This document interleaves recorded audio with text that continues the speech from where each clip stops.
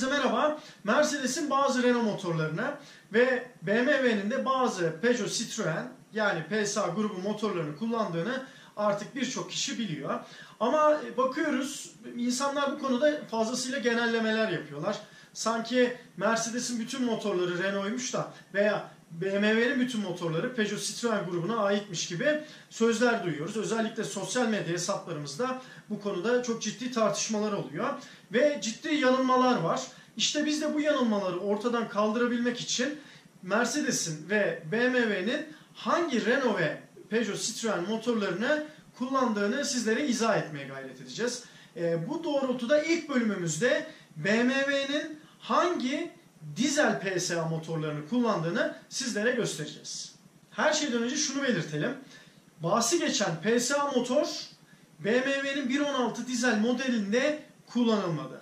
1.16 dizel ED yani Efficient Dynamics olarak geçen ve 2012-2015 yılları arasında üretilmiş olan modelde BMW'nin N47 D16 adında bir motor kullanıldı. Bu motor kodlandırması her şeyden önce BMW'nin kendisine ait ve zaten motorun çap ve strok oranlarına bakıldığı zaman da bize bir üst segmentte bulunan e, N47 D20 motorun özelliklerini çağrıştırıyor. Burada dikkat çeken nokta ise şu. Birçok üretici motorda mesela 2 litre motorunda 1.6 e, litre olarak e, hacim düşüklüğü yapabiliyor.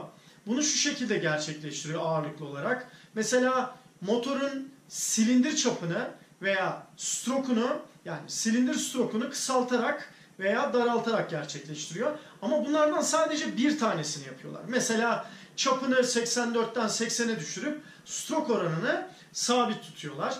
Veya tam tersine çap oranını sabit tutup strok oranını kısaltıyorlar. İşte BMW farklı bir şey yapmış burada. Ne yapmış? Hem çap hem de stroke oranını değiştirmiş. Yani N47 D20 olarak bilinen 2 litrelik motorun ki bu birçok BMW, BMW 520 dizel, 320 dizel gibi araçlarında kullandığı motordur. 184 beygirlik motor, 177 beygirlik. İşte bu motoru e, silindir ve stroke çaplarını eşit oranda düşürerek N47 D16 motoru elde etmiş. Öyle ki hem silindir hem de stroke oranlarına baktığımız zaman %7.7'lik bir küçültme mevcut. Yani BMW ne yapmış? Almış bu silindirleri aynı oranda küçülterek resmen 2 litrelik motorun adeta bir küçük bir e, kopyasını yapmış diyebiliriz. İşte bu motoru da aynen 1.16 dizel modelinde kullanmış. 2012 ve 2015 yılları arasında üretilen 1.16 dizel mod, motor, modelinde işte bu motor var. Makyajsız kasa olarak da geçer. Ama birçok kişi bu motorun PSA üretimi olduğunu düşünüyor. İşte hacim oranları aynı. Yani litre olarak bakıldığı zaman hacim oranları ayrı. Santimetre küp olarak bakıldığı zaman ayrı. Ee, ürettikleri güç benzer. Torkları benzer.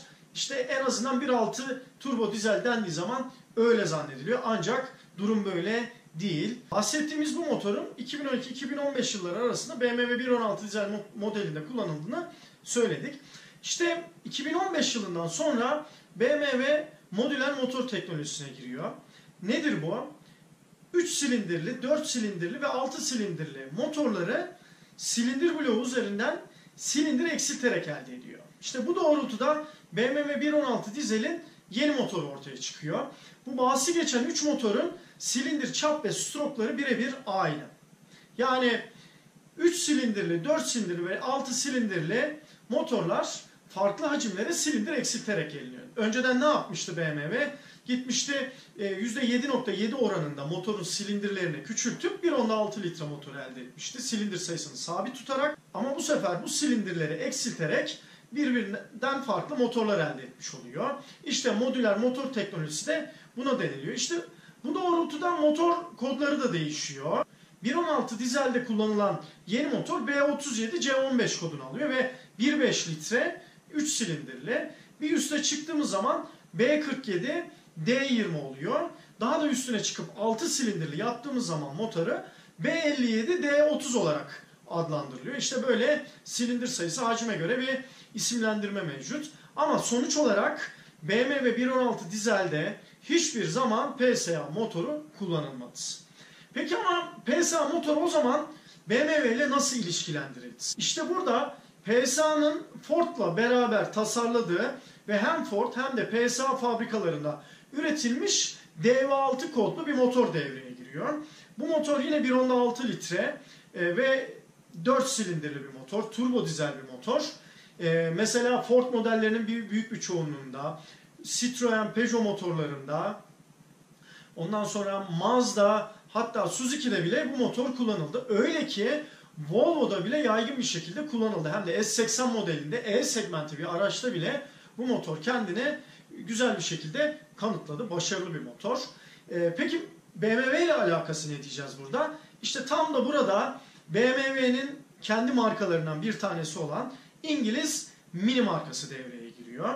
Mini de 2007 ve 2009 yılları arasında bu DV6, PSA'daki ismi DV6, e, Ford'daki ismi DLD16 olan motor kullanılmıştı. E, biraz daha farklı güce sahipti. Kodu biraz daha değişikti. Ama bildiğimiz PSA motoru Mini'de kullanıldı 2 yıl boyunca. Mini Cooper D olarak adlandırılıyordu. İşte esas olarak da bizim tahminimiz BMW'nin PSA'nın dizel motorlarını kullandığı e, söylentisi Mini'de kullanması nedeniyle çıktı. Mini Cooper dizel modellerinde bu motor 2007-2009 yılları arasında kullanıldıktan sonra 2009'da bırakılıyor ve onun yerine işte ilk bahsettiğimiz BMW'nin 1.16 dizel motor, modelinde kullanılan N47 D16 kodundaki motor kullanılıyor. Daha sonra kasa değişiyor. Bu mevcut kasada ise BMW 1.16 ve 2.16 gibi modellerde kullanılan e, daha önce de bahsettiğimiz V37 C15 kodlu motor kullanılmaya devam ediliyor. Yani şu anda bu şekilde bir motor var. 3 silindirli 1.5 litrelik BMW'nin kendi tasarımı motor kullanılıyor Cooper modelinde de.